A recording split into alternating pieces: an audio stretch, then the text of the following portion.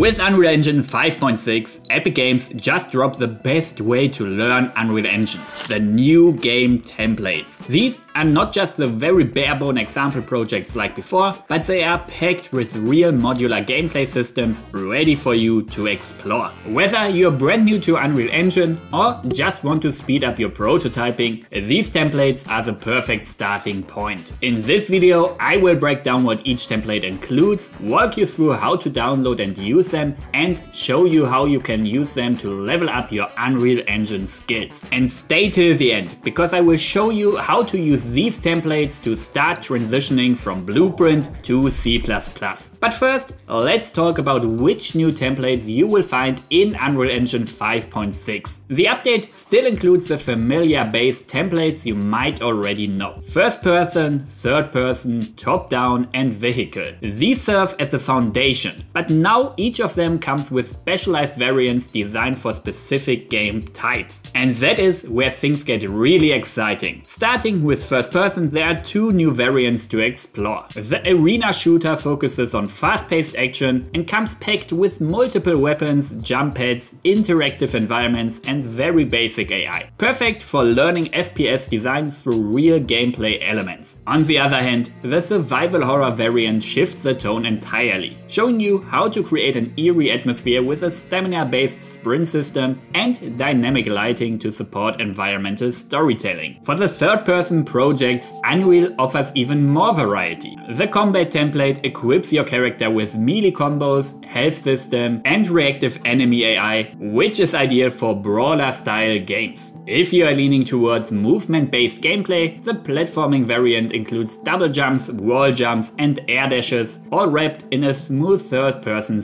And for a more classical approach, the side-scrolling variant delivers 2D gameplay with modern physics and camera control, great for building retro-inspired titles. The top-down example also got a major boost. The new strategy template is aimed at real-time strategy gameplay, featuring multi-unit control, building interiors, and a clean orthographic camera. Meanwhile, the twin-stick shooter variant introduces fast arcade-style action with separate movement and aiming controls, enemy waves and a built-in scoring system. Lastly, the vehicle category is now split into two distinct experiences. The time trial template is focused on checkpoint racing, lap timing and a fully functional racing HUD. This style of gameplay you have probably already encountered before when you played things like Mario Kart or other racing games. In contrast, the off-road template leans into freely driving around an open world without any time constraints. Each of these variants offers a complete playable experience right out of the box. Whether you're learning, prototyping or planning a full project,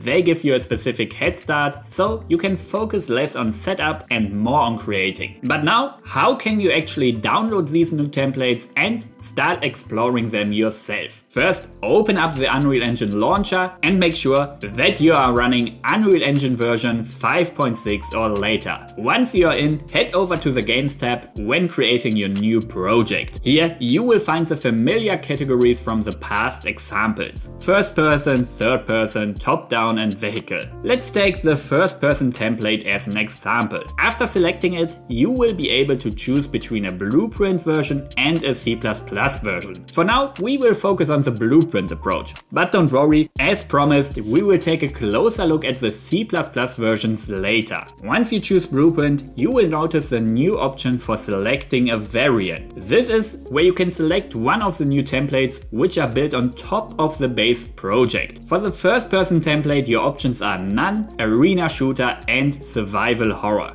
If you go with none, you will get the base version of the project. Just the essential player character, basic input setup and a simple test level. But if you pick one of the new variants, you will notice that an extra folder appears in the content browser. This contains all the assets, logic and maps specific to the variant. So from there you can open the variants map and jump right into it to test it out. Which brings us to the next part, how to actually learn Unreal Engine with these new templates. For that, I recommend four simple but powerful steps. Think of them as a ladder. Each step builds on the last and by the time you reach the top, you will not only understand how the systems work, but you will be confident building your own on top of them. Step 1. Start with the basic templates. Before diving into the fancy variants, take a moment to explore the base template which you can do by choosing the None option when creating a project. As mentioned before, these versions are clean and minimal,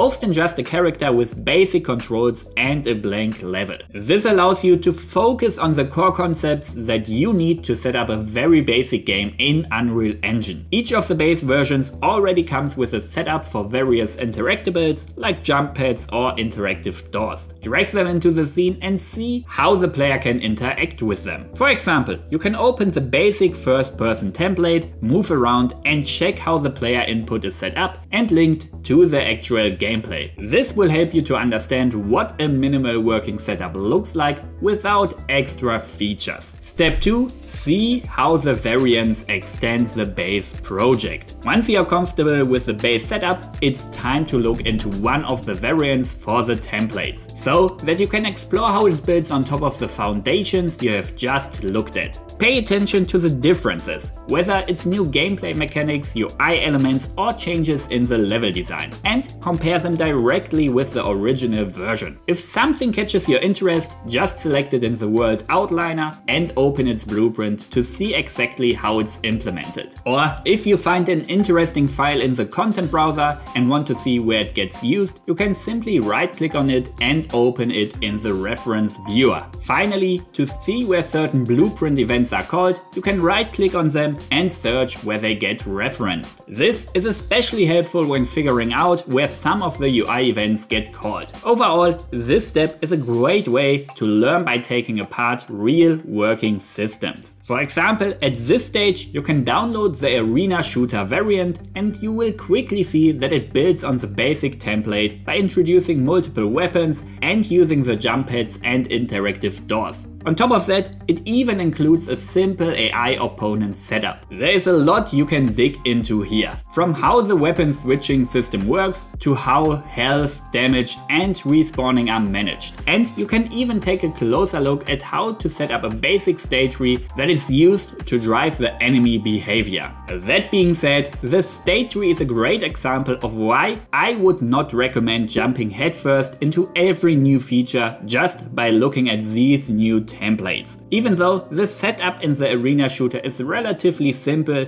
it can still feel overwhelming if you are seeing it for the first time. A better approach is to start with the basics. Read through the official documentation or follow a beginner friendly tutorial to get a solid understanding of for example how a state tree in general works. Once you are familiar with the core concepts, come back to the template and explore how it's implemented in there. You will have a much easier time making sense of it and you will learn more effectively by combining theory with hands-on practice. Step 3 adjust what's already there.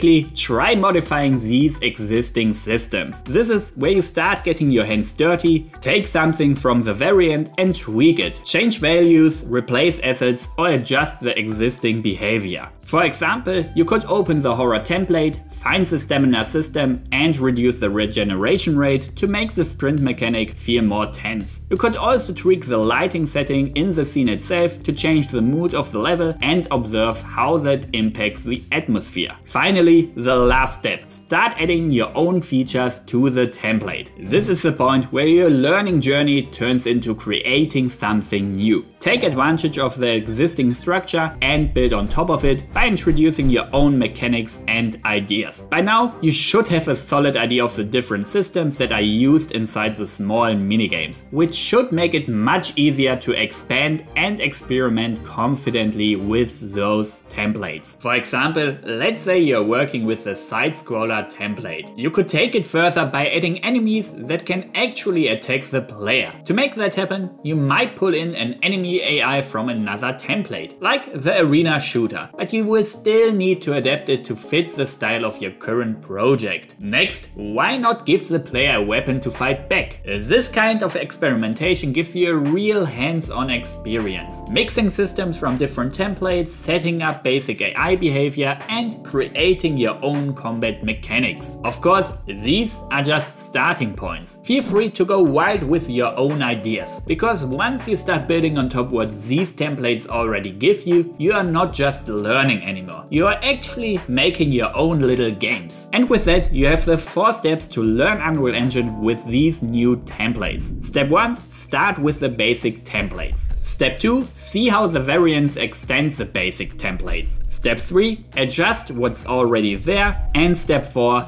add new things on top. And now, before we look into how you can use these templates to level up your C++ skills in Unreal Engine, if you enjoyed the video so far, consider subscribing to the channel and becoming a member. It's a huge help in keeping the content coming and supporting the growth of this awesome Unreal Engine community. Alright, with that out of the way, let's take a look at how these templates can help you to become a C++ king in Unreal Engine. As mentioned earlier, you can also also select the C++ option when you create a project, but now you won't be able to select a specific variant. Instead, Unreal will generate the base template along with all the available variants in one project. That is why I recommend starting with the blueprint versions first. It allows you to explore each variant individually, helping you understand their unique features and systems one at a time. And once you are familiar with how everything fits together, transitioning to the C++ version becomes much easier. When it comes to exploring the C++ side of the templates, you have two approaches. The first is to dive directly into the C++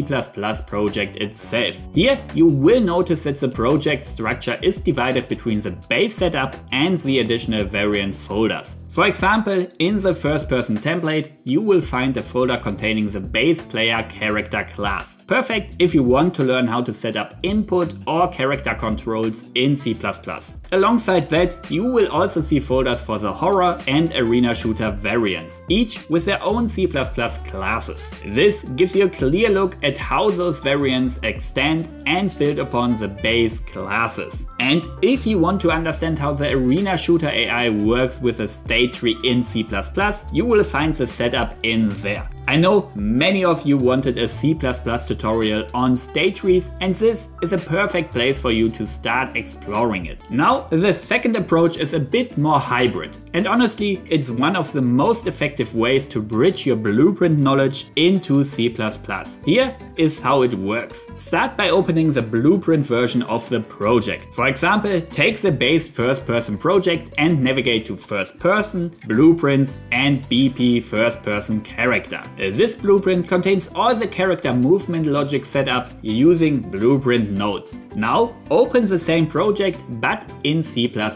You will still find the BP first person character in the exact same location. But this time you will notice that the blueprint contains less logic here because most of it lives in the C++ class it's based on. You can still see that the blueprint is used for assigning the input mapping context or setting up touch input, proving that using C++ doesn't mean ditching blueprints completely. In many cases, blueprint is simply more convenient for certain tasks. If you look at the top right corner of the blueprint editor, you will see its parent class. Click on it and it will open up the corresponding C++ file. Now you can compare this C++ class with the blueprint version from earlier. For instance, look at how input events like movement or aiming are handled in code versus blueprint. Let's take it a step further with the arena shooter variant. Open the BP shooter weapon pistol blueprint and you will notice that the logic is minimal. Its parent class is BP shooter weapon base, which again doesn't hold much functionality either. Click on its parent class to reveal the C++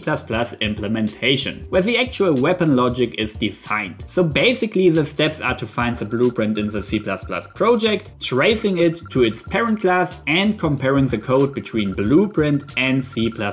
This is incredibly useful if you're aiming to transition from blueprint to C++. You will quickly see how the same systems are structured in code with similar function names between blueprint and C++, making the comparison even easier. I cannot stress this enough. This is one of the best learning tools if you want to truly understand how Blueprint functionality translates into C++. And the best part, the code in these templates is well structured and thoroughly commented. So you will rarely be left wondering what a particular line of code is actually doing. So not only do these templates give you modular gameplay ready systems out of the box, they also serve as a powerful resource for anyone looking to shift from Visual Scripting to C++ in Unreal Engine. But that was our small tour through the new Unreal Engine 5.6 templates and how you can use them to level up your Unreal Engine skills. These templates are more than just starting points. They are literally like playable tutorials that teach you by showing real finished mechanics. With that, check out this video if you want to know about 5 common beginner mistakes you might be doing in Unreal Engine.